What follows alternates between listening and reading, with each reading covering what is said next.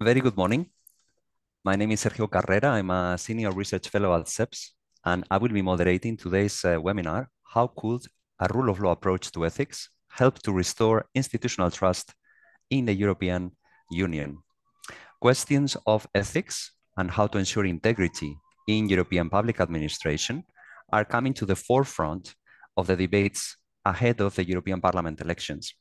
Distrust, citizens' distrusts, legitimate questions regarding cases of uh, corruption, conflict of interests, revolving doors in European institutions are gaining ground in light of few scandals and cases that have arisen during this last legislature.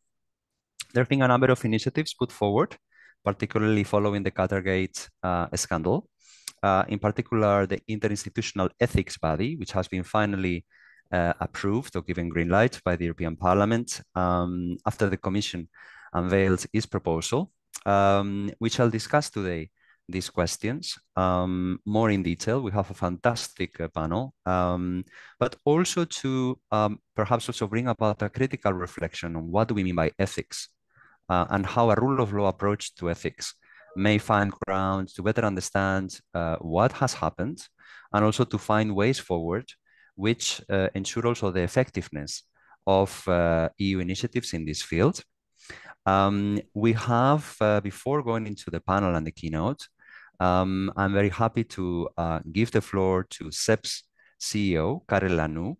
Karel actually has just published a new book titled Understanding Europe, Policies, Impact and Future of the European Union that you can see there. And um, we are uh, very happy to to have Karel also to do the welcoming of today's session. So Karel, you have the floor, please. Thank you, Sergio. And it's a pleasure for me to welcome you to this session because I couldn't support more what Sergio and Julia and our team here on JHA is doing in CEPS and to have such a nice set of speakers. Above all, to welcome also Emily O'Reilly, who's been tirelessly advocating a stronger approach towards ethics in the working of the institutions at European level. To have this seminar today, but also it's very timely because of the European elections coming. In this book, which Sergio just mentioned, I focus a lot on trying to make the European institutions more accessible for citizens. But then if see, citizens see issues like what happened in European Parliament with the Kaili affair, but also other things of which they have read in the meantime, they just wonder what rules are running, are managing, are governing this organization, and what is being, being done about it if there are these kind of uh, issues, which I would not only call issues of ethics amongst members, for example, of the European Parliament in that case, but also it happens also to high-level officials in the Commission or eventually in the Council or another European institution. What the rules governs their way of working, and what can we do about this? And if citizens do not see that the EU institutions sufficiently react to what is happening and is, are incapable to controlling their own members, uh, then they may simply react in a way which we would like to have in the European elections, which is now happening very soon. So, what I in my book, amongst others, criticize is that the reaction from the European Parliament on what has happened at the end of 2022, so already more than a year and a half almost ago, has been very weak, and that basically the code of ethics, which uh, was proposed, came only basically very late, I think, in the month of February or March this year. And what we will be debating today is this enough or is this uh, not enough? Um, I would say, as the way I see it, and it's explained also in the explanatory note of this meeting today, that such a code of ethics needs to have sufficient teeth to be seen to be workable um, and that's what we'll be debating today, whether it will have sufficient teeth, let's say, to make sure that trust of citizens in the European institutions can be maintained. So from my perspective, let's say all the support for this webinar today, for the discussion about these, these matters, uh, the thing I would say is that this is not only a matter of ethics, but it's also a matter of uh, basically sometimes grove neglect of basic rules if you accept bribes, this is not only a matter of ethics, this can also be a matter of uh, a criminal follow up, let's say, before courts. And that was in certain cases has happened. So again, Sergio, thank you very much, let's say, for organizing this event. I think it is, as I said, very important for trust in European institutions that we uh, European institutions are seen acting about this. Um, and I hope, let's say, we can have an interesting exchange of ideas on this matter and we come up with some uh, recommendations at the end of this webinar today. Thank you very much. Thank you, Karel. And indeed, uh, these are questions uh, which brings us back to the core founding values of the European Union in the treaties, uh, elements like good administration uh, and rule of law when it comes to European institutions themselves. Uh, there's been a lot of focus on how certain governments across the EU are backsliding on the rule of law, um, how are European institutions um, taking their own path and their own way in fulfilling their obligations in the treaties. Now, you mentioned uh, eh, the work of Emily O'Reilly. Uh, I'm personally also a, an admirer of her contribution uh, during the years and that of her office of the European Ombudsperson um, in upholding good administration uh, in European institutions. And we are delighted to have her uh, uh, with, with us today. And we look forward also to her presentation. So, Emily, you have the, the floor. Thank you very much, uh, and thank you for that lovely welcome and for inviting me to speak on the topic of ethics and the rule of law. And I apologise in advance for my voice; it's a little bit diminished, but hopefully I will get through the next uh, the next ten minutes or so. So, ever since the emergence of the Qatargate scandal, which is now eighteen months ago, people have wondered to what extent the issues at the heart of it would play a role in the forthcoming European Parliament elections. Judging from some polls, it appears that the cost of living crisis, migration, geopolitical turmoil, they all appear to have relegated the alleged bribery and corruption at the heart of the Parliament to the lower end of citizen concerns. Only 6% of respondents in a recent Eurobarometer poll believe that the next European Parliament should defend the rule of law as a priority over competing values such as peace and democracy. Perhaps this is to be expected or even welcomed. The rule of law, after all, is the operating system of democracy, the engine when it functions well, it purrs away in the background unobtrusively. We take notice only when it fails. Where the rule of law has been examined and debated in recent years, especially in Brussels, it has generally concerned the European Commission's fight against the authoritarian drift that is evident in some member states. In battles such as these, with billions of euros at stake, it is easy to think of the rule of law as a binary characteristic, something you either have or you don't have. In truth, of course, it's both a continuum, something you can have more or less of, and a composite, a combination of several distinct but related elements. And this needs to be kept in mind because if we say that the European Union institutions could benefit from a more forceful rule of law approach to its ethics framework, we should not draw a false equivalence between an imperfect ethics system and the considerably more alarming rule of law deficits of some member states, even though, as we know, certain member states are very quick to defend their own misbehaviour by pointing to Qatargate and other scandals. And that in itself, of course, establishes a link between the two. The European Union's ethics framework is still badly in need of a rule of law update. This is not to say that there is an absence of rule. On the contrary, the defining feature of the system has been the accumulation of rules after every major scandal, from Cresson to Kaili. Each public outcry has been followed by new codes of conduct, more stringent disclosure requirements, more detailed definitions, and elaborate procedures. And yet, the ethics violations continue. Less than six months after European Parliament President Metsola completed her ethics reform plan, fresh allegations of MEPs accepting funds from Russian and Ukrainian sources in return for disseminating Kremlin talking points have emerged. The Council of Europe's Venice Commission's rule of law checklist includes, of course, independence, impartiality, and equality before the law, but critically also notes that, quote, the duty to implement the law through the consistent application of dissuasive sanctions, the operational independence of bodies responsible for applying those sanctions, and of course, the adequate resourcing of those bodies. These gaps are most apparent in those areas which have the highest risk of unethical conduct, lobbying, and trading in influence. Two vital initiatives for regulating conflicts of interest in these areas arguably fall short of the Venice Commission checklist, and they are the EU Transparency Register and revolving door restrictions. The Transparency Register is the most important pillar in the EU's efforts to show how policy is shaped. However, there are major concerns that it is under-resourced and fails to capture what is needed for an accurate forensic accounting of who influences EU legislation and how. There have been repeated media and civil society reports of the disparity between what some entities report in terms of personnel and resources and the visible on-the-ground reality. Another issue with the accuracy of the register is the extent to which companies or sectors engage in what is called astroturfing. That is, whether seemingly independent grassroots or civil society organisations listed on the register turn out to be funded or controlled by private interests. The credibility of the register as a tool to monitor possible conflicts of interest in the legislative process ultimately rests on the ability of the system to keep those who register honest. Yet there are serious doubts that it can do so. Earlier this year, one of our inquiries made a finding of maladministration against the Transparency Register Joint Secretariat with regard to a complaint it received about possible astroturfing. We concluded that the Secretariat did not conduct a meaningful investigation into the complaint relying instead on a highly formal tick box approach to assessing claims that is not in the spirit of the register.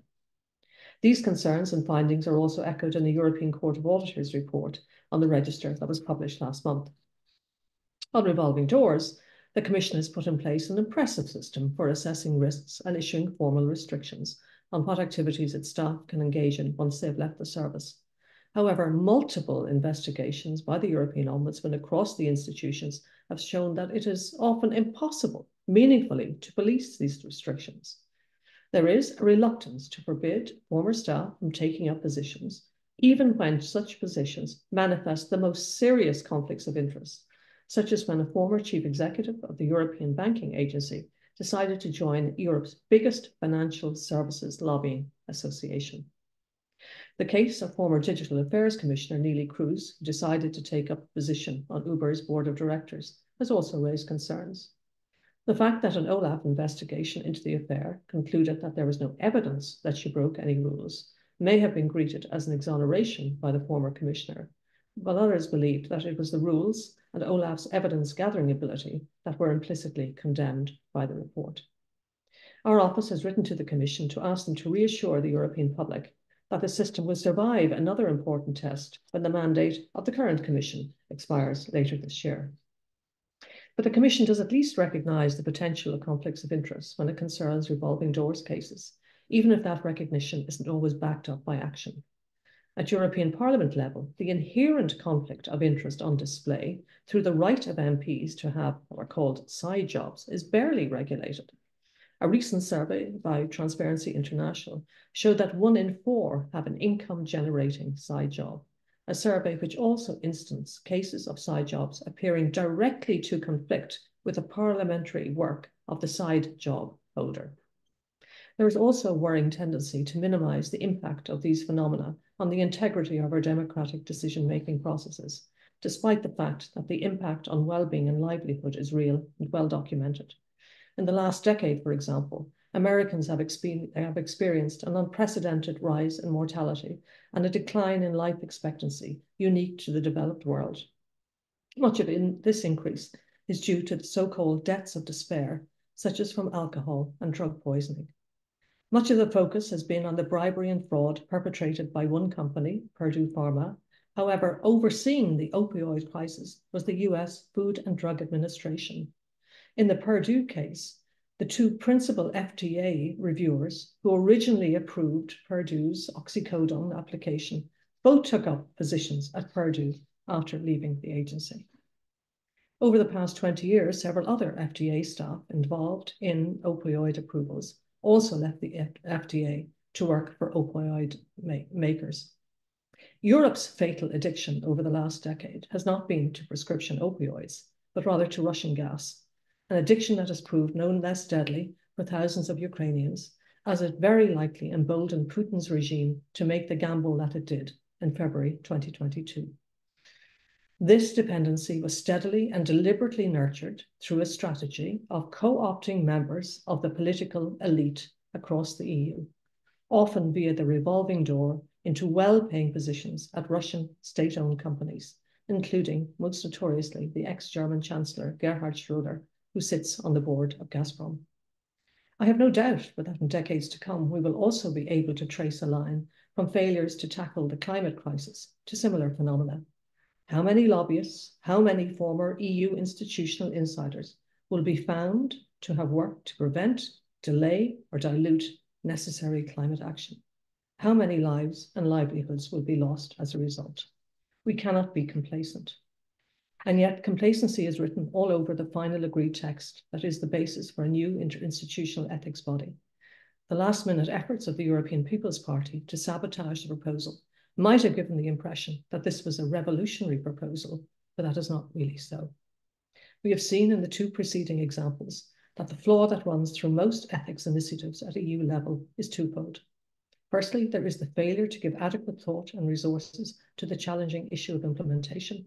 And secondly, there is the reluctance to contemplate meaningful sanctions, a reluctance rooted partly in the absence of an adequate legal basis, but also in large part because ethical violations are judged by peers or former colleagues who lack the required independence. Despite the welcome addition of five independent experts to its ranks, the new ethics body will not remedy this deep flaw. Its main function will be to agree common standards rather than to police existing ones, a task that will remain the responsibility of the patchwork of existing ethics committees that have been set up by each institutions. The independent experts will be consulted only should one of the institutions decide that difficult or contentious cases need a second pair of eyes. Finally, all of this shows the lack of any shared political appetite for the kind of robust ethics regime that many citizens could have imagined was originally proposed by Commission President von der Leyen in her political guidelines. An interinstitutional ethics body may exist in name, but its nature is far from what was widely understood to have been implied back in 2019. This is not to suggest that nothing has changed or that improvements will not be made. The proposed new ethics body, even if toothless when it comes to investigating or sanctioning, could at least compel the institutions to look at their own ethics regimes, to compare and contrast them with those of other bodies, to defend their internal rules or be forced, if only by peer pressure, to strengthen them. At the very least, it puts the matter of ethics much more front and centre of institutional thinking than was previously the case.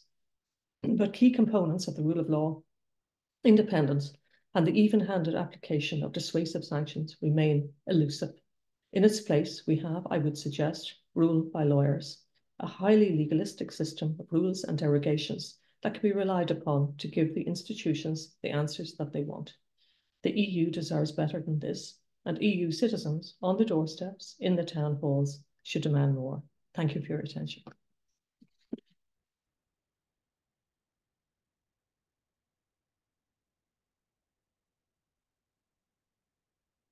Thank you. Thank you for your excellent presentation. Uh, the EU deserves more, uh, you've mentioned. Um, and um, you've also highlighted how the rule of law um, you consider as the engine of democracy. Um, in your presentation, you pointed pointed out a number of elements that I'm sure we will come back during the during the panel. Um, I mean, it is really fast, really astonishing the what you mentioned on the revolving doors, the the conflicts of interests, and and also the side activities of MEP, something that is still is outstanding, and and also your comments on the transparency register. I thank you so much um, for your presentation. Um, my colleagues have reminded the participants, we are very grateful for all of you who are, who are participating in this webinar. You have the Q&A option uh, in Zoom. Um, so feel free as from now onwards to include any comments or uh, questions that you have. Please also include your name and, and affiliation. I will be taking those questions to the panel, which we now open um, following the keynote. So we have uh, three speakers starting with Professor Emilia Korkea-Aho, University of Eastern Finland. This will be followed by Shari Hinds. Uh, it was mentioned before, the work of Transparency International, one of the key leading NGOs calling for, indeed, the transparency, uh, European Union decision-making and institutions. We are very glad to have you, uh, Shari. And then Julia Pozze, research assistant at CEPS, who has written a wonderful commentary that is available in our website um, dealing with these uh, topics. So starting with Emilia. Emilia, you have the floor. Thank you. Uh, and thanks for the invitation to uh, discuss ethics, the rule of law, and public integrity. Um, when thinking about what to say today, I decided to reflect on these topics in light of my ongoing research, which focuses on uh, lobbying and revolving doors. And particularly this academic year, I have um, thought about both in the international versions, meaning foreign lobbying and international revolving doors. And I think these two um, topics provide the context for my thoughts in this webinar today. There are two things that really bother me about the discussion on ethics in the EU, especially after Qatargate. Um, first is that the um, the EU perceives itself as being under attack rather than as an active agency or a, a agent capable of promoting ethical conduct. Second, to me, it seems that the EU behaves as though member states are somehow ethically inferior or weaker uh, entities or parties, rather than openly recognizing that it has its own domain to manage and, and sort. So for, for instance, take the recent directive proposal uh, given last December, which concerns member states that should be establishing registers for those representing uh, third countries. But it's not the member states that had Qatargate, it was the EU.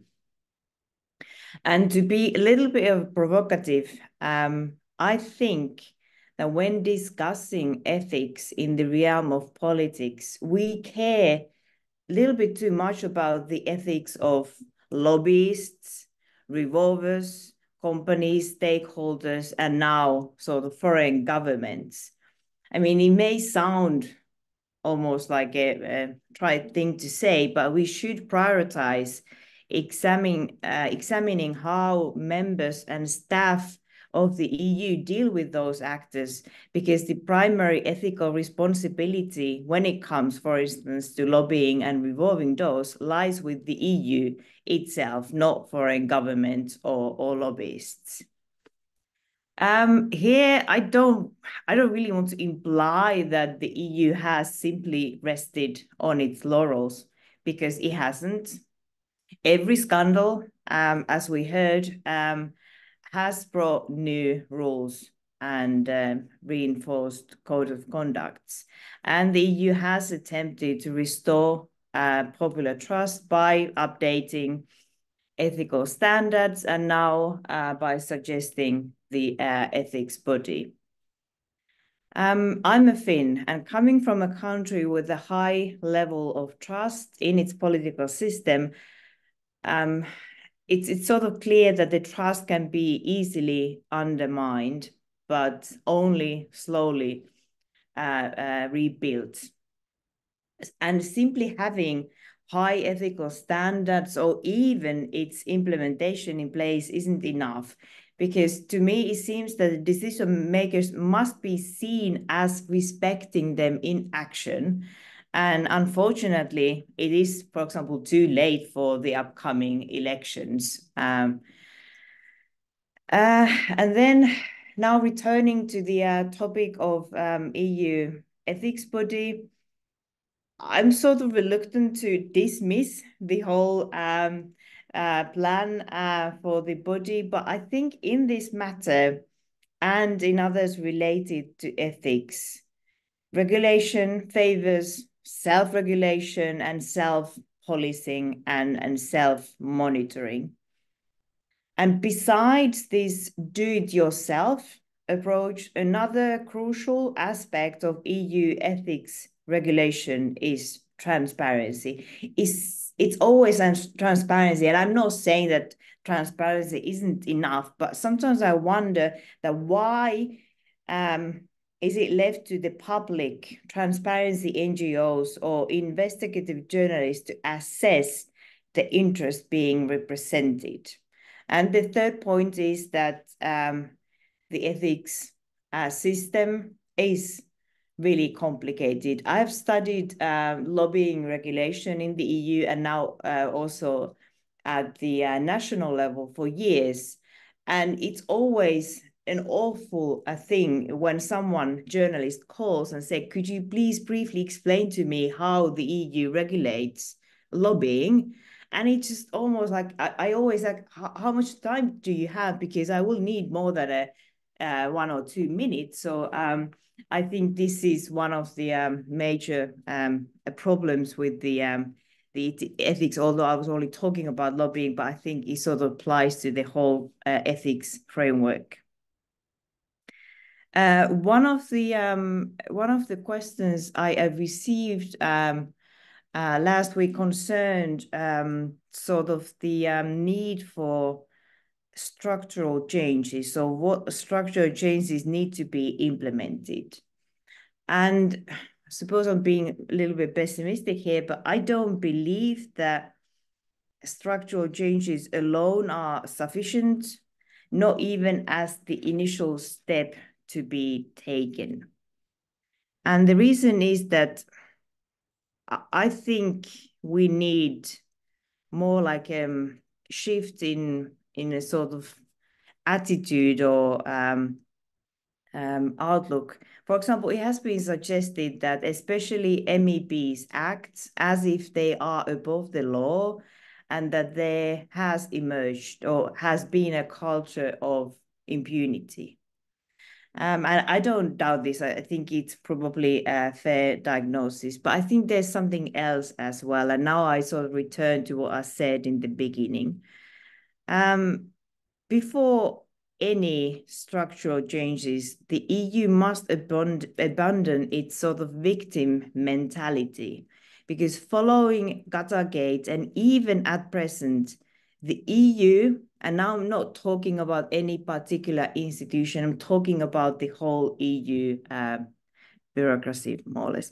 The EU frequently reverts to behaving as if it is threatened or undermined. And there's a connection between how the EU deals with its own autocratic member states and its approach to third countries, because I think in both in instances, the EU prefers to be seen or sees itself as being under attack or threatened rather than highlighting that yes i mean there's something we can do about this and we have agency in defending the rule of law and promoting ethical governance because i think it's clear that the eu is not under uh, attack from external forces i think when it comes to ethics, the threat is internal, and it's not internal in the sense of, of, of some member states.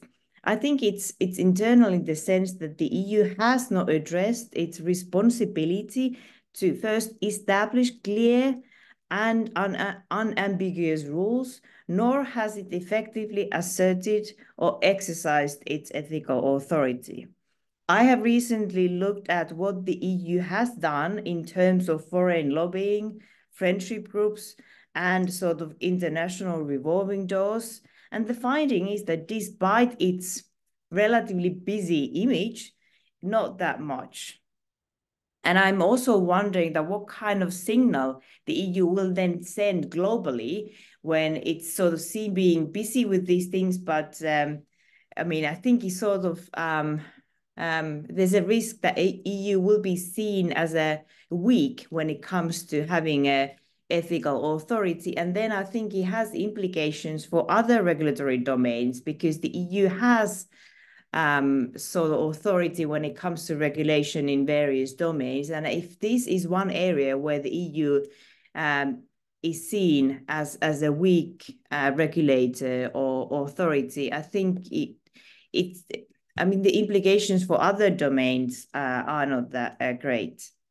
And I also want to address, and this is the final point, um, the EU's attempt to regulate, now I, I will go a bit beyond ethics, but uh, just talking about democracy more um, in, a, in a broader sense, that the EU's attempt to regulate democracy um, is sort of similar um, to how he, he has regulated markets for almost 70 years. And I think it's sort of um, um, um, uh, ineffective. There are obviously issues um, in terms of, for example, legal basis, but also um, regarding the substance um, of, of regulation. I recently suggested that when it, for example, in the third country government's directive proposal, the EU seems to be thinking that it can certify foreign agents um, similarly to how it certifies sort of food items. So it thinks that the, somehow the democracy and markets can be regulated in a in a, a similar way. And I think this is uh, this is a mistake, and we should also think about sort of probably almost like a new uh, regulatory philosophy when it comes to uh, democracy and and ethics. So, but I think this is where I will end, and thank you. And that's a wonderful ending note, a new regulatory philosophy. Thank you so much also for bringing it back to where it belongs, the responsibility. Uh, you've made it very clear where it belongs, uh, the EU itself. Uh, also, the EU not seeing itself only as a victim, but it has clear agency in these uh, fields, and it has enormous repercussions, as you've very well explained, both internally. Also, Emily mentioned this uh, impacts on people, but also enormous repercussions in, in across policies. So we are very glad to, to count with you, uh, Emilia, in today's uh, conversation. Thank you. Uh, next speaker is Shari. Uh, good morning, everyone. Uh, I'm grateful to be here today at this uh, important webinar. I would like to thank again the organizer for providing me with this opportunity to engage in the discussion on such pressing matters. Uh, today, we find ourselves at key moments for transparency, accountability, and the rule of law within European public administration, especially in light of the uh, upcoming EU election and the evolving landscape from 2019. Uh, these concepts uh, quite often seem uh, as abstract, but they are fundamental principles that uphold the integrity and legitimacy of our democratic institutions. In today's presentation, I will be discussing the work of TIU in uh, political integrity and uh, accountability. Following that, I will uh, delve into key topics uh, such as Qatargate and the agreement on the ethics body. I will conclude uh, with a forward-looking assessment of the integrity systems uh, within the European institutions. Let's begin. TIU is part of the global anti-corruption movement, Transparency International, our mission is to prevent corruption and promote integrity, transparency, and accountability in the EU institutions, policy, and legislation. TIU raise uh, awareness using social media and website. Our advocacy work focuses on identifying loopholes in the ethical EU institutional framework through uh, blog posts and uh, comprehensive reports. Based on this analysis, we develop key recommendations that we use as advocacy demands. Our advocacy is data-driven and a central role is played by uh, our flagship platform, Integrity Watch. We use the platform to provide a comprehensive overview of lobbying meetings uh, in the Commission and Parliament, as well as uh, members of the Parliament's side activities, shedding light uh, on potential conflict of interest. By offering transparent, transparency, uh, transparent and accessible data, we empower citizens to hold their elected representative accountable. Transitioning our focus to transparency and accountability. These are crucial for the protection of the rule of law at the EU level. The rule of law uh, serves as a fundamental principle of the EU legal system, requiring uh, institutions to adhere to principle of good administration and governance. Transparency and accountability are essential mechanisms for ensuring that these principles are maintained. Our only higher uh, ethical standards within European institutions contribute to restore citizen trust in the EU as well. This is even more crucial in the light of the imminent election, anticipated to be more polarized than ever. This recent year have been marked by uh, various allegations and scandals with the Qatargate scandal standing out as the most significant, posing a profound uh, challenge to the institution's uh, uh, integrity. In light of this, restoring public trust is central. It is imperative that citizens are reassured that transparency and integrity are key priorities for the EU institutions.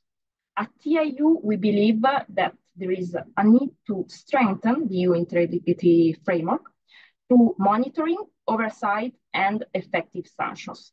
These structural changes will rebuild public trust and ensure ethical conduct among EU policymakers. TIU has been advocating for these reforms for years. Regrettably, not even the Qatargate scandal could prompt these changes. Parliament concluded the reform process in September 2023, and we acknowledge the introduction of some reforms, uh, such as the requirement for members to uh, disclose all lobby meetings and asset declaration at the beginning and at the end uh, of term in office.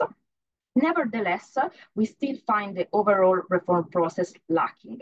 There has been no rapid transition away from what we call a culture of impunity. Members are still allowed to conduct uh, side activities and there, are, there is still no monitoring and oversight of activities in general. Turning our attention to the agreement on the ethics body, it is important to note that this body could have facilitated the transition towards higher ethical standards and could have complemented the current ethical oversight framework. However, after uh, waiting for almost five years for the agreement, uh, the agreed upon ethics body falls short of being an institutional watchdog, watchdog capable of promoting meaningful change in the ethical systems of the institution. A few positive aspects include the ability to consult the independent uh, expert on declaration compliance and the mandatory annual reporting uh, on the body activities. What the body is truly lacking are investigative and sanctioning powers. These render the body unfit for purpose. That we body can be seen as a starting point, strengthening its mandate and ensuring adequate resources are essential steps towards enhancing its efficiency.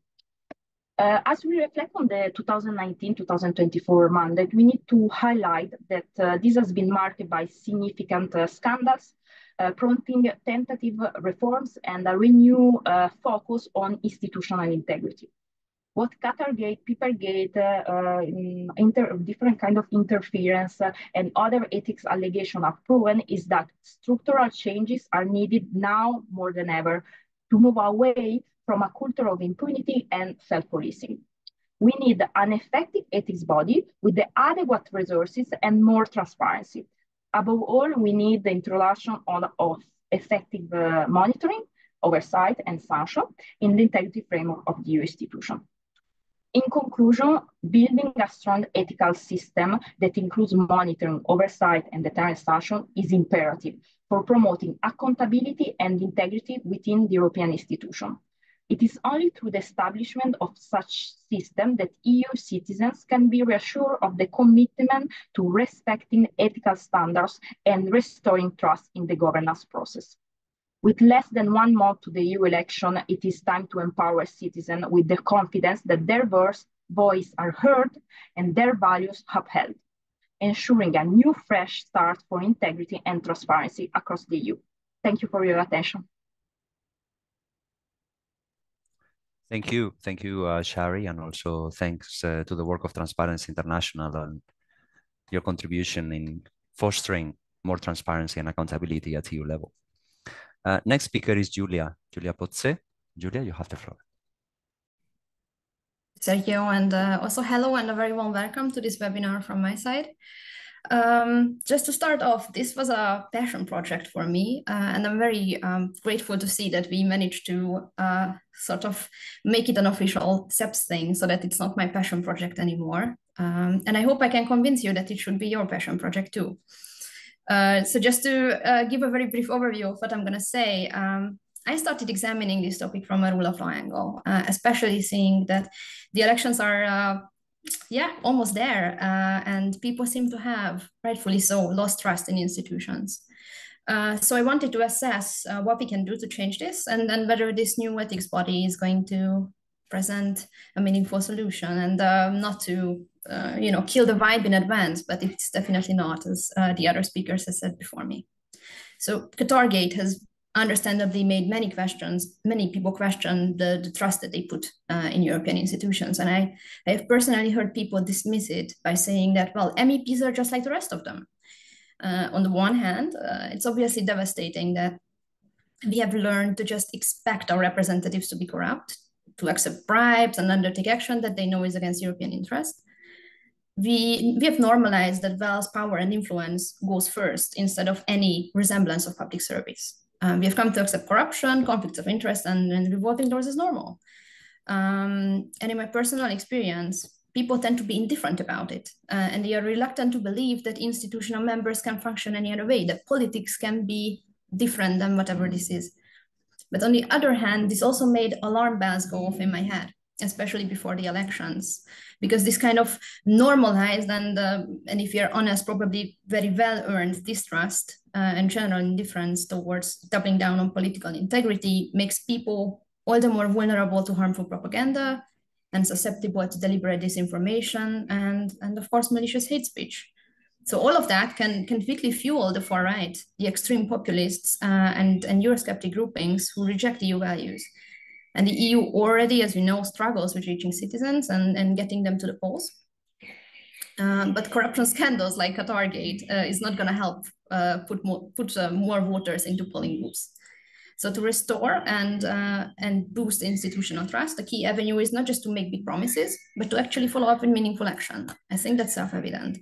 And the action uh, that these institutions take need to be accessible to the public so the citizens can play their own very important and essential role in keeping elected representatives accountable. And accountable, uh, accountability, as many mentioned before me, is a central word here. Transparency of public administration and governance alongside political accountability is a crucial element of the rule of law. I think that's a universally accepted fact. And, and after all, the, the uh, idea behind this notion of rule of law is that citizens, institutions, and politicians alike must adhere to and are accountable to the very same laws. So um, it shouldn't be tricky to hold leaders accountable, just like it shouldn't be tricky to hold citizens accountable for unethical conduct. Um, from this, it follows sort of that, that the comprehensive ethical oversight is absolutely essential uh, to all the core values of the EU. We often cite Article 2 uh, of the EU as the heart of the integration, and I believe rightfully so. Uh, but without political integrity, there cannot be real democracy. The EU cannot deliver equality before the law, justice, and fundamental rights, and there surely cannot be a functioning rule of law-based system. We elect MEPs and national governments to represent us we delegate power to them with the hope that they will work for us and not only for themselves. Uh, therefore, since they are wielding the power that's technically ours, they must face strict scrutiny for their conduct and how they deal with the power that we give them. And, and on the other side, uh, how can we how can we accept uh, expect citizens to adhere to rules when the rich, powerful, and influential seemingly act like they don't have to? So to uphold our values and to continue this European project that we have built over the past 70 years, we must not relent in, in fighting for a robust ethical oversight regime. And we also must do our own part as citizens and as people in, in holding the political level accountable. So the question then is, um, is the new ethics body the answer to our hopes and prayers and dreams? And I mean, uh, as my fellow panelists said before me, it certainly is not. Uh, I acknowledge that the proposal has its heart in the right place. And it's definitely a step into the right direction. But um, even if the EP managed to add some valuable elements to the original proposal by the Commission, it's, it's overall not nearly enough to sort of usher in this bold new era of accountability. I mean, first, the self-policing, as the uh, other panelists mentioned before me, uh, if, if, you, if you just think about Qatargate, the scandal was orchestrated by an NGO that called itself Fight Impunity, and yet they they they did their best to hide the corruption and escape accountability for their wrongdoing. So clearly, letting institutional members uh, to police themselves is not going to change this culture of impunity. Ethical rules need, need to be binding. Otherwise, no one would reasonably expect institutional members to live up to them. We, we have seen the immediate aftermath of Qatargate coming to light that first MEPs were very keen uh, on disclosing the gifts that they have received, that the matings they have taken, but but after a while, this enthusiasm uh, of disclosure dwindled, and as time passed, um, most of them have gone back to the bare minimum when it comes to transparency. So these rules, must not only be binding, but they must also be uniformly implemented and uniformly enforced, which is not the case now and will not be the case with the new ethics body. Um, otherwise, not, not much can come from a new institution like this other than uh, a very shiny lip service to uh, uh, an otherwise noble idea. Um, the body needs to be structurally independent, which is once again, as I would argue, not the case. Um, and with the council not participating in it, it's also not fully interinstitutional. It needs to cover all EU institutions. And um, lastly, uh, I, I, just also want to mention that rules will be non-binding uh, and violation, as also the, the Ombudsman O'Reilly um, highlighted, will not be sanctioned. So there is not much uh, added value into this entire body. And, and overall, as, my, as the fellow speakers have pointed out, um, the EU's institutional landscape is incredibly complex. And as uh, the Ombudsman said, it's, it's like a patchwork. It's too complex. And I mean, at this point, uh, we in the EU bubble are happy when someone does not confuse the Council of Europe with the European Council. So how can we expect people to grasp how any of this work? Um, it's almost impossible to, to fully understand how ethical oversight is is functioning in the EU. So so we can't reasonably expect people to just follow up and keep uh, keep the institutions accountable if they don't even know where to go. Uh, so I think this is a key reason why, uh, despite, as I said, being a step into the right direction, the ethics body is not a not a good solution. It will make this landscape that's already very intricate and complex even more complicated. And uh, for everyone who, who, wants to take on the mantle of holding institutions accountable, having a more streamlined, simplified structure would be very beneficial. And of course, I think more needs to be done to raise awareness for the fact that, that citizens can go to the ombudsman and submit complaints and, and actually access avenues to, to, to hold uh, politicians accountable. So overall, due to the lack of effectiveness presented by this proposal um, in facilitating more transparency and, and higher accountability standards, this is not, not a good solution from a rule of law perspective. So to just to finish up, to bolster institutional trust, the EU needs serious commitment to ethical oversight.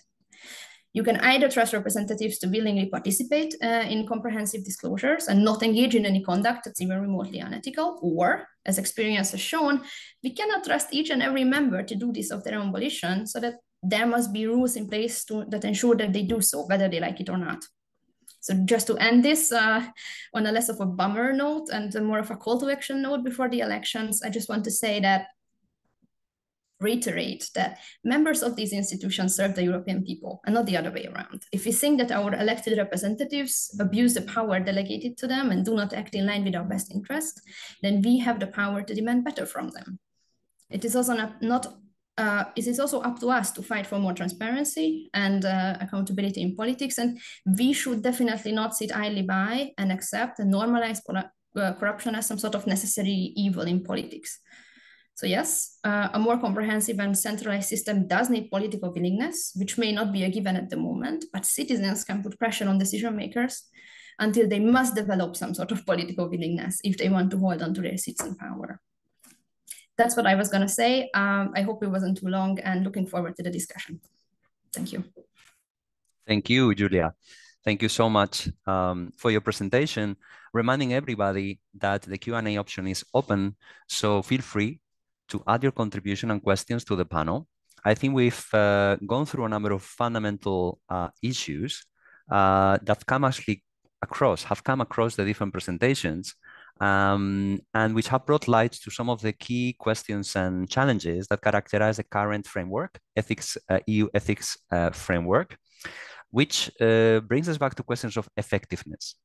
The question of that you've many of you have raised as regards the new ethics body, the lack of independence, the lack of meaningful sanctioning and, and uh, investigatory powers, the lack of resources put into this and uh, this kind of uh, lip service policymaking that we call something uh, a so-called ethics body, but can that body really deliver ethics? Can this body really deliver on the promise uh, based on what we've heard? I mean, this is really uh, an open question. Um, as far as I understand from, from your, uh, your presentations, then there is the issue of this patchwork of committees and so forth, which has been this complexity by design even for experts and for people who are following very closely, is extremely complicated to follow. So one can only imagine for uh, everybody else. Um, now, what does that mean in terms of accountability and access to uh, uh, who has access uh, to to these venues and so forth, and also the question of overlapping. sometimes has been mentioned. I think the European Commission uh, saying we have already some EU agencies which are delivering in, in some of those aspects. How does this new ethics body, um, uh, so-called ethics body, uh, complement, overlap, or leaves even wider gaps in relation to the work of other agencies? So um, there, been, uh, there are a couple of questions before bringing bring it back to our panelists. Um, perhaps they have some reactions um, to some of the points that the other colleagues have raised.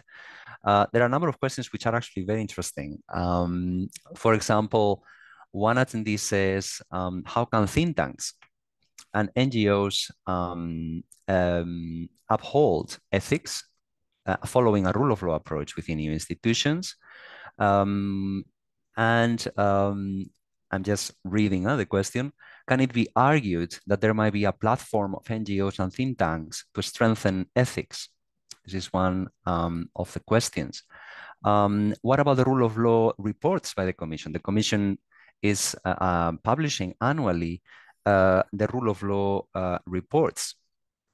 Um, what role do you see in those reports? And this is also a question for, for any of you when it comes to the importance of upholding ethics within European institutions. As far as I understand, those reports do not cover European institutions themselves, which perhaps is a huge gap uh, that could be addressed in the next legislature. Why not to include actually a section on um, rule of law uh, related aspects uh, at the uh, European uh, institutions?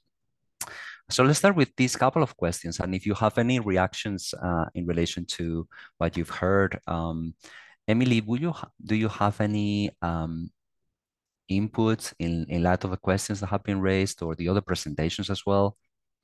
Well, first of all, they were really interesting and, and helpful to me in terms of how we frame our work.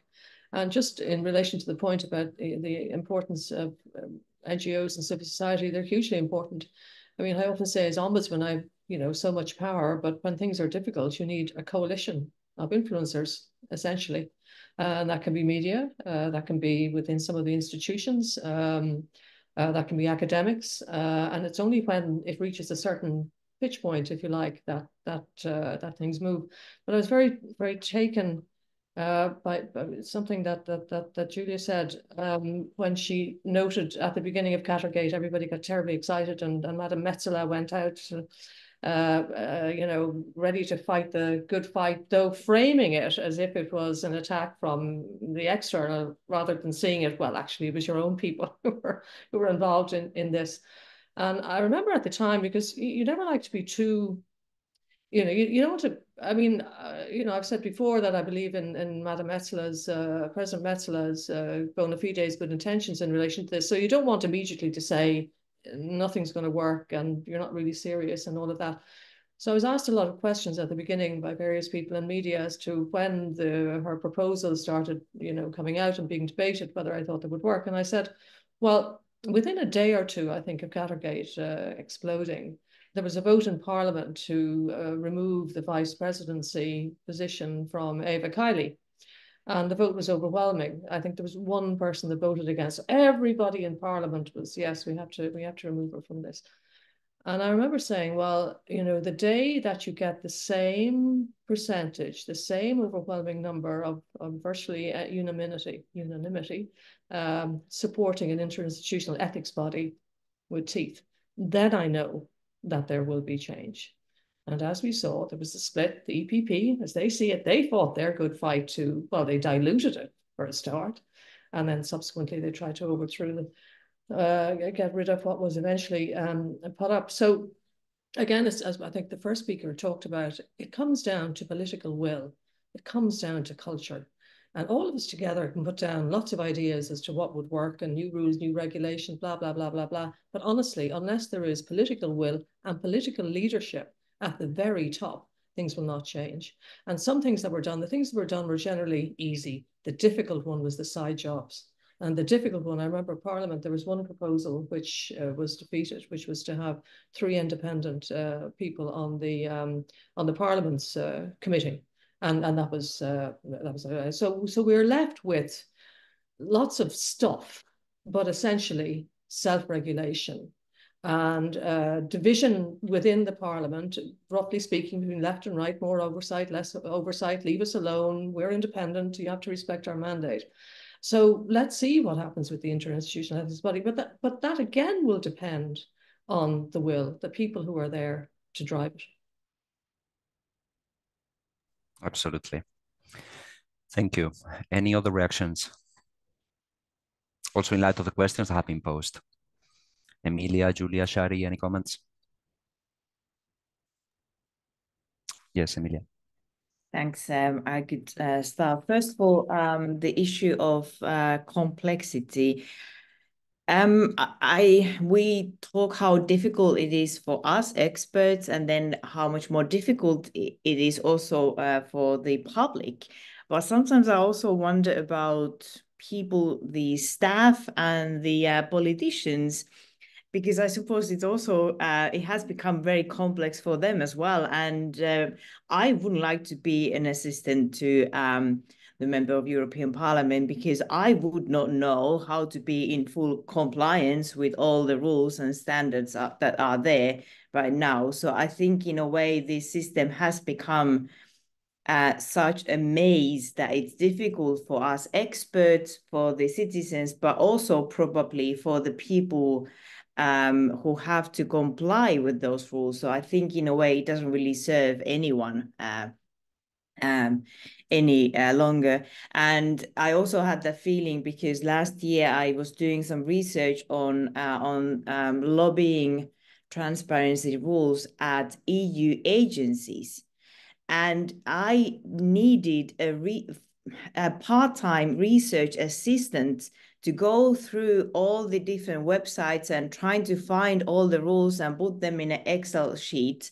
And I mean, I can do that because uh, um, I'm lucky enough to have a research assistant. But if you are a citizen, you don't have a research assistant who can uh, go through the, all, all the websites and uh, see what kind of rules they have. So I think this system, I mean, it's not manageable. It doesn't really uh, make any sense. So what about the NGOs and think tanks? This was one of the uh, questions um, asked. I actually, I think they already do quite a lot and how much more we can expect from them. And for example, I think this is sort of related to my uh, comment uh, on transparency because we always like emphasize transparency. And the more we have transparency, the more responsibility we put on NGOs and think tanks and all the activists to go through that information because transparency and having all the information out there doesn't really help. We need people who are willing to go through that. Uh, material so in a way i think they already do quite a lot and i'm so happy that they they do quite a lot but i think it's it it's bit like uh, unfair in a sense to say that we should uh, they should do more. Although i mean i'm sure that this is not what the uh, person who asked this question meant but in a way i think it's also good to remember that they do quite a lot. And also um um the rule of law reports yes they don't cover the eu institutions. And i remember when they first um appeared, I think I was a little bit skeptical, but um, I don't know. I suppose they could have a um, some some impact, and um, and I mean this is just a very personal point, but I find them very useful because uh, to me as a researcher, they also give me a lot of information about what's happening in other member states. But then they saw the policy impact.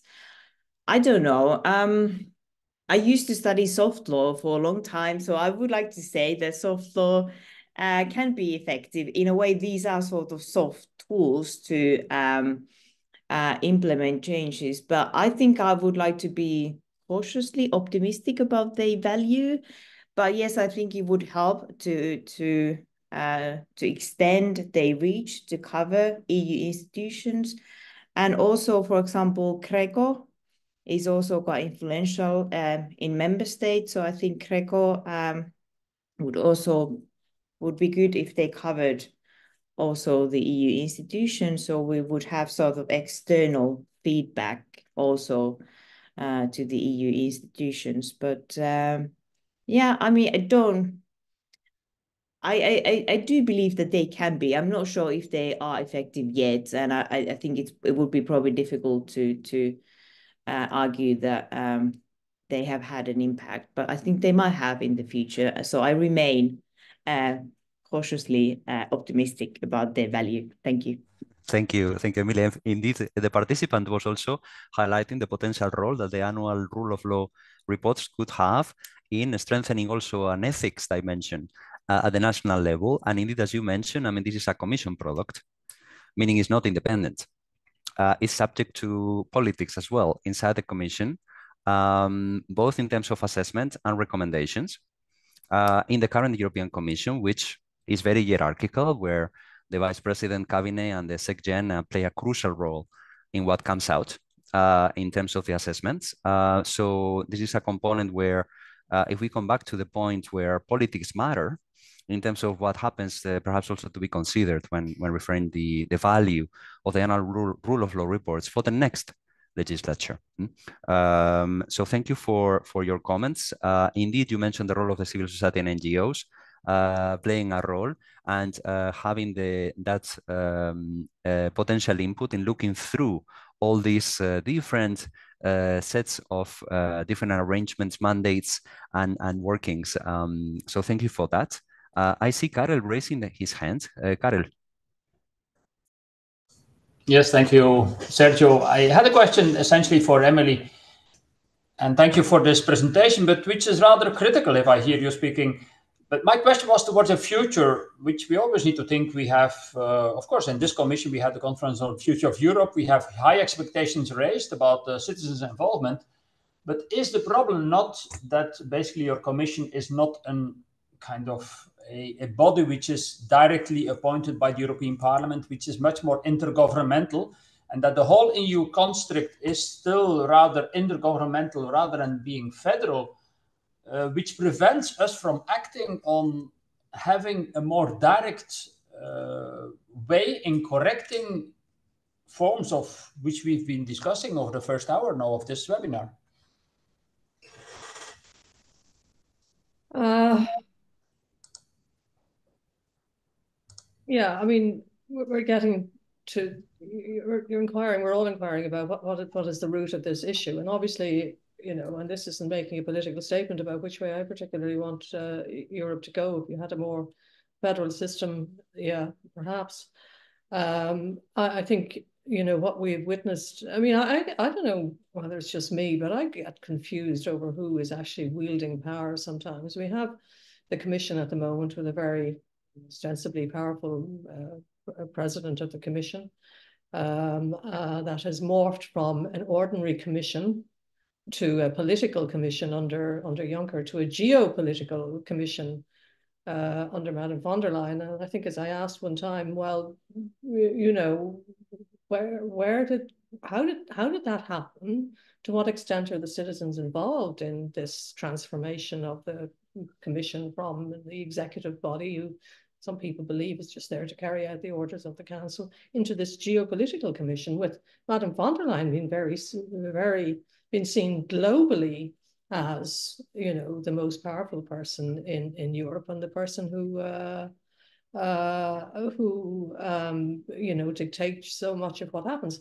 Um, so I, I, think again the European elections are going to obviously um, uh, show a lot. I mean, we're probably going to have the old Spitzenkandidaten issue again, um, Parliament fighting for its right to propose whoever is the lead candidate at the end, and the council saying, no, we want to impose our own. And then you have issues around legitimacy there. But I think more worryingly, in relation to what we're talking about here, is that there will be a shift to the right as we hear. Now, most commentary, and I'm just reading what I what most of us are reading, says that that the centre will hold, but the centre will be a diminished centre. Uh, and when you look at you know rule of law issues in the member states, and when you look at who was most vociferously opposed to significant change in the ethics rule, you will see that it was not even the far right; it was the centre right. Um, so, are we going to go backwards in relation to uh, to, to these matters? And and that is highly that is highly uh, problematic. So I mean, the, the question you're asking is, is much deeper than that. I can only look at it from, I suppose, from a citizen's perspective, because they're the people who come to me wanting to, you know, have their problem solved or wanting questions answered. And I suppose they're rather confused about, you know, the, the power balance, um, who's who's who's uh, dictating the geopolitical direction of, of the Commission and to, and to what extent uh, do they have a say in this? Yes, we definitely need to be prepared uh, for going backwards, as you mentioned, to this eventuality of uh, with a new legislature, uh, the European Union institutions going actually backwards in upholding um, ethics and the rule of law. And uh, you've also mentioned very valid points in the when it comes to the so-called geopolitical role of the European uh, Commission, um, which brings back to the question of impartiality and representativeness and legitimacy of uh, not only the president of the commission, but also the role of vice presidents and commissioners. I mean, if in the next uh, legislature we will have more commissioners um, representing countries where you have extreme right parties with which uh, the current president of the commission has said she will cooperate with, uh, we know that those governments are not at the forefront either of um, upholding uh, EU values as we know them. So this is a very legitimate question indeed. Um, uh, there's also uh, a couple of questions before giving back the floor to Julia and uh, Shari. Uh, there's one participant who's uh, mentioned the issue of the legal basis. So we often hear the argument, of, oh, there's no legal basis for this. Um, and uh, one participant actually wonders about these arguments, your thoughts about this. And another participant also about the concept in itself, ethics. When we talk about ethics, um, what uh, what do we mean uh, conceptually?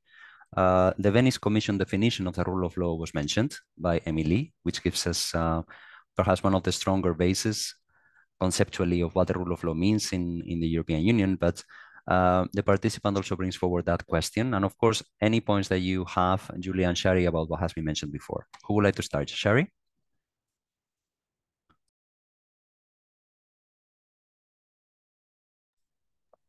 Yes, sorry. After many years with uh, COVID and everything, still struggling sometimes to unmute myself. sorry about this. Uh, so um, yeah, there are very different interesting points that uh, that have been raised um, in terms of uh, there is no legal basis for this. I think this is one of the main uh, replies that we always uh, get as Transparency International EU, especially when it comes to political integrity, because we don't only work on political integrity, uh, we also work on uh, on other aspects like rule of law, civic space, illicit financial flows, and when it comes to political integrity of the, the European institution, we actually advocate for changes within the institution. So this is sometimes a bit more difficult uh, than it is when we work on other other aspect aspect. And uh, uh, for me, the question of legal basis is very simple. At the end, when there is a political appetite and political will to change things, this is 100 possible and and uh, it's not like the fact that maybe there is no legal basis should not preempt like structural changes and uh, for example, when we talk about the reform process on the on the following Qatargate scandal, there there were there was an occasion to change things. So there were uh, basically uh, a reform process of the, of the rule of procedure and code of conduct of uh, members. And there still, where there was the, the, the legal possibility to change, they did not, uh, Parliament did not uh, then fail to uh, introduce meaningful changes. And then uh, I wanted to come back on uh, on the question about the rule of law report. That is not something that I, I follow directly. This is another colleague that is following, but uh, something very interesting is that sometimes there, uh, at least on lobby, we find some uh, uh, recommendation by the Commission that are very, um, very good, I would say, for, for some member states. And uh, the question there is, the, is why for the own EU transparency register, these uh, good recommendation and these positive aspects are not implemented. So we see that for the moment, the, the the transparency register is not uh, uh, truly mandatory, and there are uh, many uh, problems with the, with the, with the register. If I start to speak about the register, it will take hours, so I will will just say that it can be improved. And when uh, we see in the rule of law recommendations to improve uh, it, and that these recommendations and these aspects are not implemented in the own lobby register of the of the institution, is quite uh, uh interpelling, I would say. Um, so yes, this is uh, what uh, I wanted to, to say. I will uh, leave the floor to Julia or other panelists that they want to contribute on this. Thank you. Thank you. Julia. Yeah, thank you. Uh, there's a bunch of questions, and I uh, I don't think I have the time to to give a, a, good answer to all of them. So let me just briefly uh, provide some some some quick answers. Um, concerning civil society and the rule of law report, um, I, I, want to quote uh, Balázs Dénes from the, the Liberties Union for Europe, who has long been advocating to for adding a civil society pillar to the rule of law reports. And I agree with that. I think NGOs and civil society in general are absolutely necessary for the survival of democracy. And in this very complicated web of politics and institutions and regulations, they are the ones who, who actually inform the public uh, in a way that's graspable and understandable to them. Without them, there is nothing. Uh, and and on the rule of law report, it's also I think very different in for each member state because I don't think many citizens actually take the time to read these, and that's also totally understandable. Um, so in many ways, NGOs give them information on this. And uh, the other thing about citizens is also pointed out by by Balázs Dénes is that this comes out in July when there is not much appetite to to read these kind of things so close to uh, summer holiday, uh, so that it needs to be published uh, at a time of year when there is more attention.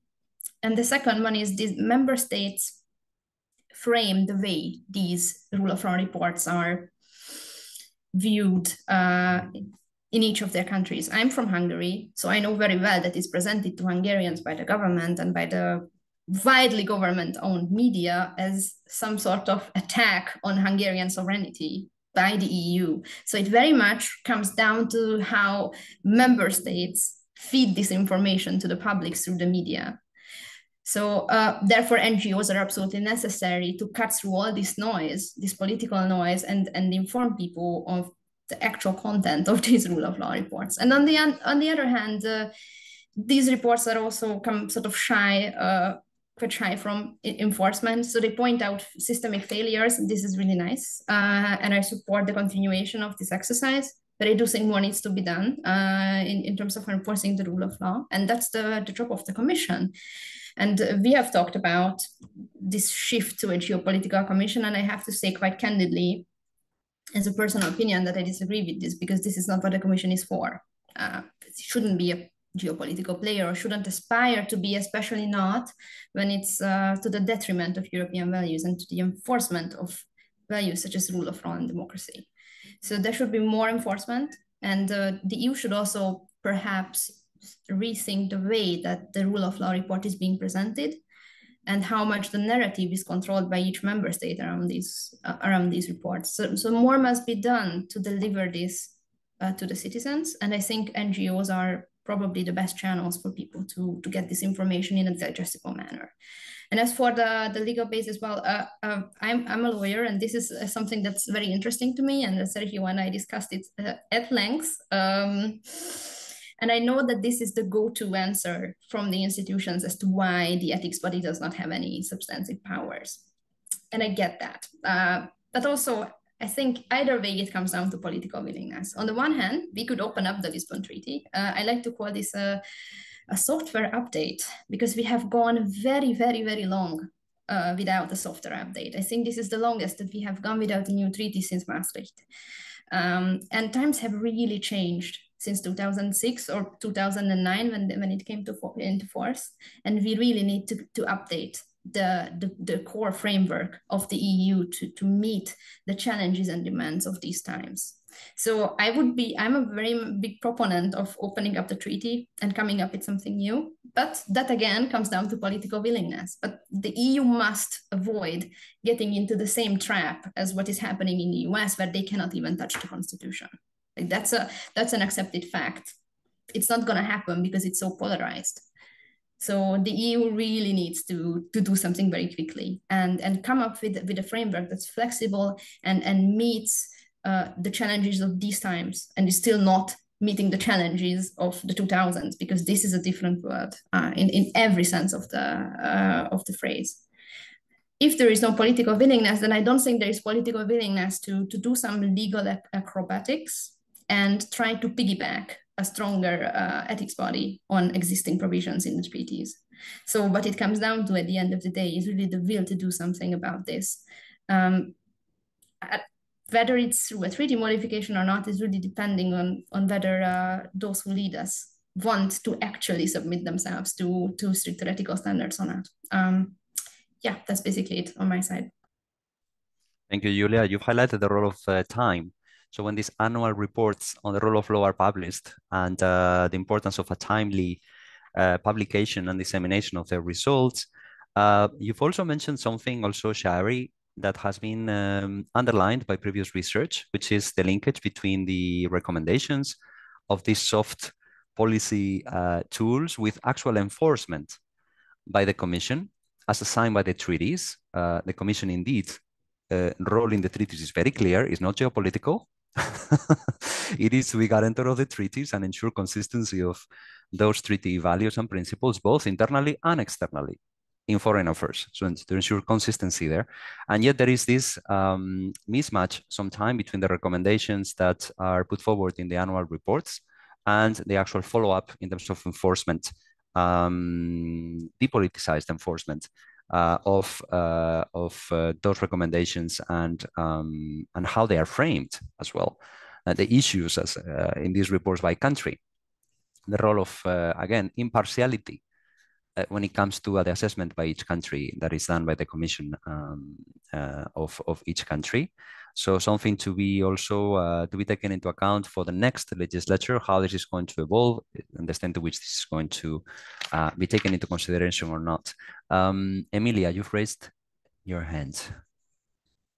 Thank you. Uh, I'm sorry. I also want to say something about the issue of legal basis because I 100% uh, agree with Shari and Julia that when there's a political appetite, there will be a will. And, and this foreign lobbying directive proposal that I mentioned is a good example of that because it uses uh, Article 114, which is sort of the market um, uh, legal basis. And if you read the uh, text of the proposal, yes, it looks odd in certain places, and I don't think it's as uh, as strong as it could be because uh, the the choice of legal basis is um, um, unconventional, but um, but again, it shows that yes, we can do this if we want, and I think this also quite nicely links to to what um,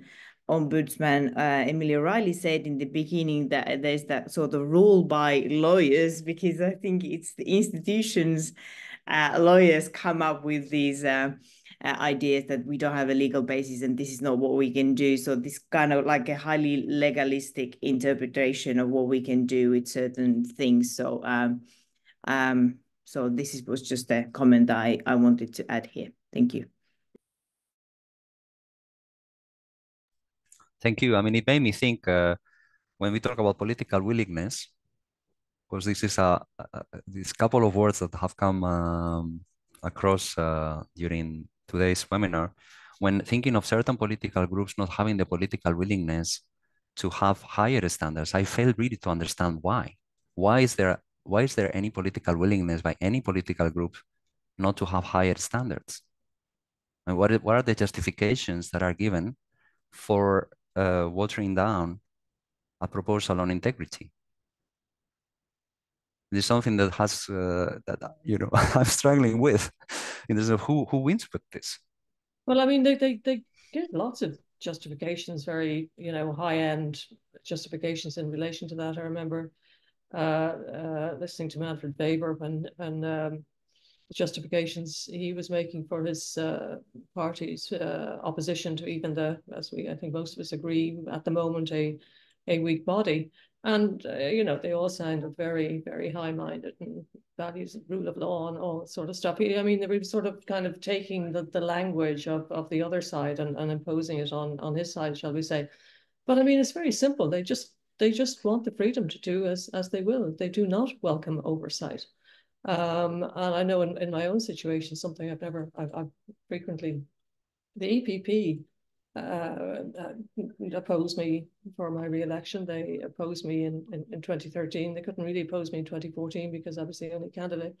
Uh, and equally, they they opposed my predecessor in in uh, in his second mandate. So, you know, uh, I don't want to personalize this, but but it strikes me is that it's simply the, the the the culture of of, of the centre right and and the right that they that they believe they can do pretty much uh, as they will without without being uh, without oversight by by an independent body. And could, could I just say something about this whole political geopolitical thing? I mean, I suppose when I mean I remember Martin Selmayr, the former Secretary of, of, of the Commission, and he said um, when you know this morphing of the of the commission from being plain commission to political commission and then to geopolitical commission, he said, well, the commission was always uh, political, and of course all choices are essentially political, but I don't think there's ever been a commission, possibly, arguably, that's been as political as this. And politics involves making choices. And when you're making choices on the basis of politics, then you're veering away really from, from the treaties and what somebody has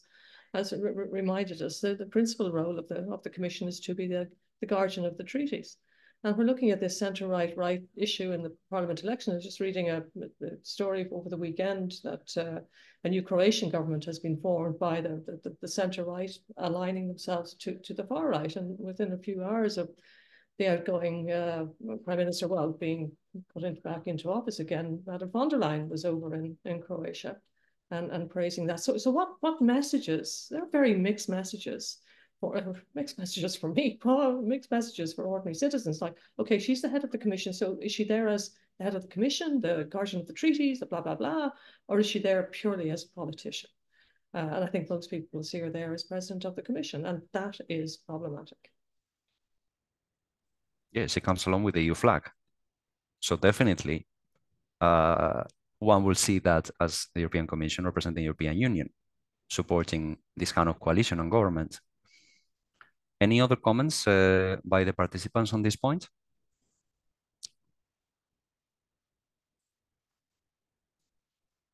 Otherwise, just to say that um, we've had a fascinating uh, conversation and uh, set of presentations that bring to the forefront uh, once more uh, the starting premise of this webinar was this, the, the profound relevance of integrity, impartiality, rule of law, um, when it comes to European public administration and how the the all the rules and procedures and so forth, all the bodies and so on, boil down to uh, ensuring the effectiveness and uh, uh, delivering for those who actually uh, are affected by this. Ultimately, uh, the people, the peoples of Europe, uh, citizens, the, and um, there have been very concrete ideas and um, and proposals uh, both from the panel and the participants um, as to how to to take into account um, not only in light of the upcoming European Parliament elections, but also the output,